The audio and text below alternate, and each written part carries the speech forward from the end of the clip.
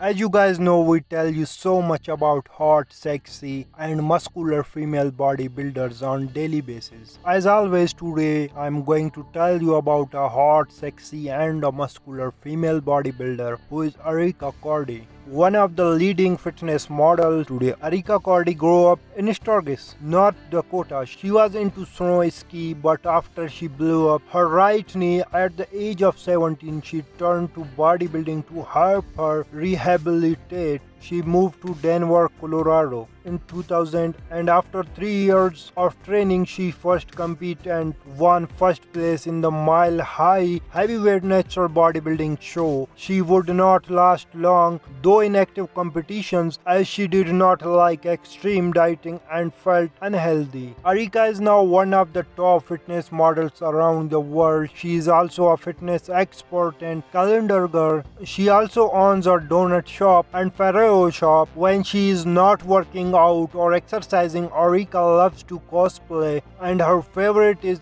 the superhero Wonder Woman. She also enjoys going to the bars to arm wrestle with the boys and she usually gets her way with them. So this was about Erica Cordie. It was short. Sorry for that. Hopefully you like the video. If you do, please subscribe to my channel. Hit the like button and press the bell icon for daily videos. Thank you so much for watching. See you in the next video. Take care. Tata. Bye bye.